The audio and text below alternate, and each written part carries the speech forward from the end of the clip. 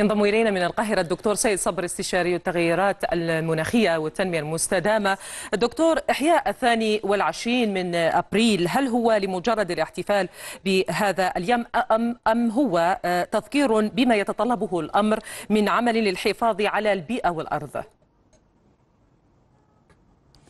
مساء الخير. هو الحقيقة المفروض لا لا يكون مجرد يوم للاحتفال ولكن هو كما قيل في التقرير هو يعني دائما يوم لإذكاء الوعي الدولي بأهمية الحفاظ على الأرض والبيئة والبشر اللي هم موجودين على هذه الأرض أن يحافظوا على الأرض لأنها هي الأساس اللي كل البشر عايشين عليه وزي ما هو من الاسم نفسه ماذر ايرث أو من الأرض لأن كل البشر يجب أن يحافظوا على الأرض اللي إحنا بنعيش عليها واللي أصلا بناخد يعني غذائنا منها ونتعايش عليها فلا بد يبقى دائما هناك تذكير بأهمية الحفاظ على الموارد وأيضا الحفاظ على الأرض.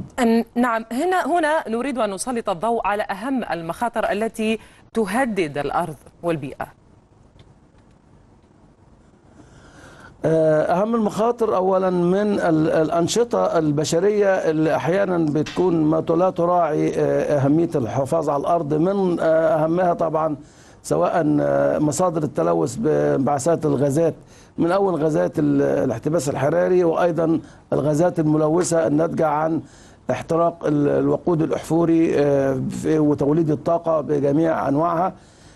بالإضافة إلى استخدام الغير جيد للأراضي اللي هو ال land use لو نحن بنستخدم أسمدة يعني كيميائية والحاجات دي بيطلع منها انبعاثات وبتؤثر على خصوبة الأرض وعلى كفاءة الأرض وأيضا ينتج عنها انبعاثات بتضر البيئة. فهناك أهمية كبرى لأن كل ال ال الأنشطة اللي بيقوم بها البشر في جميع الدول يكون الهدف الرئيسي منها الأخذ في الاعتبار عدم الإضرار بالموارد اللي موجودة على الأرض سواء موارد مائية أو الأرض التربة كل هذه المكونات يجب الحفاظ عليها ويجب عدم الإسراف في طيب هنا هذه تعتبر عوامل من بشرية بما تمثله من مخاطر على الأرض. في الجانب الآخر هناك عوامل طبيعية تغير المناخ التصحر الجفاف. هذا أيضا يهدد الأرض. كيف يمكن للبشر أن يواجهوا هذه التحديات؟ هو الحقيقة أن تغير المناخ آه أي نعم هو له آه يعني بعض الأسباب الطبيعية تغير المناخ بأسباب طبيعية ولكن دي قليلة نتيجة البراكين أو نتيجة الإشعاع الشمسي أو النشاط الشمسي. ولكن التغير الحاد في ما حدث في المناخ كان بسبب الأنشطة البشرية. التدخل البشري لأنشطة التنمية الغير منضبطة في في السابق والتي ما زال يعني حتى الآن لم لم لم تصبح بعض منضبطة. هذه الأنشطة البشرية بتؤدي إلى تزايد نسبة تركيزات غازات بتسمى غازات الاحتباس الحراري في مناخ الأرض.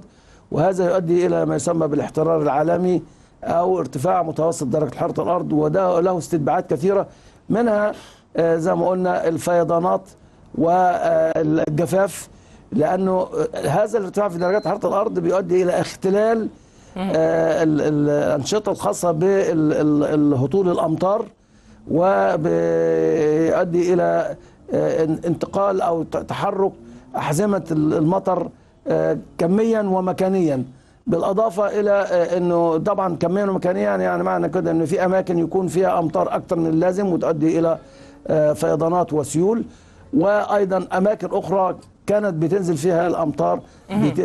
هذه الأماكن بيبقى فيها ندرة وجفاف ويؤدي طبعا بذلك إلى التصحر وبالتالي أثاره سيئة في حالة الاستمرار في هذه نعم. الممارسات ال- ال- الغير مرشدة. دكتور هذا اليوم يتم الاحتفال به كما نعلم من سنة 1970 ويدعو إلى المساهمة عبر الانخراط في في نشاطات معينة للتوعية بأهمية الأرض والحفاظ عليها. هل كانت هناك أي نشاطات أو هل انعكس ذلك حقيقة عبر السنوات وتم فعلا الحفاظ على الأرض؟ أم تفاقمت مخاطر الأرض البشرية؟ المحاولات دي بدأت من زي ما حضرتك أشرت من سنة 1972 من أول مؤتمر ستوكهولم وتباعا لغاية 1992 لما عقدت مؤتمر الأرض في ريو دي جانيرو وانبثقت عنها الاتفاقيات الثلاث اللي هي اتفاقية تغير المناخ واتفاقية تصحر واتفاقية التنوع البيولوجي التنوع الحيوي وبعد كده المؤتمرات والمبادرات توالت وكلها طبعا مرتبطة فيما يخص البيئة والتنمية وحتى المفهوم المسمى من البيئة والمحافظة على البيئة والتنمية ثم التنمية المستدامة وأهداف التنمية المستدامة. وظهرت مبادرات كثيرة وإحنا يعني مثلا في ساعة الأرض اللي كنا بنتكلم عليها آه، الاحتفال بيوم البيئة العالمي اللي هو بيبقى في شهر يونيو. وهكذا في مبادرات كثيره الهدف منها نعم. تذكير ال- البشر وتذكير الناس بأهمية الحفاظ على البيئة وأهمية آه، آه، التكاتف آه، دوليا للتعامل مع. آثار تغير المناخ والحفاظ وأهمية الحفاظ على البيئة نعم. الأساس الحفاظ على البيئة وبهدف تحقيق التنمية المستدامة لجميع الدول دكتور سيد صبري استشاري التغيرات المناخية والتنمية المستدامة كنت معنا من القاهرة. شكرا جزيلا لك.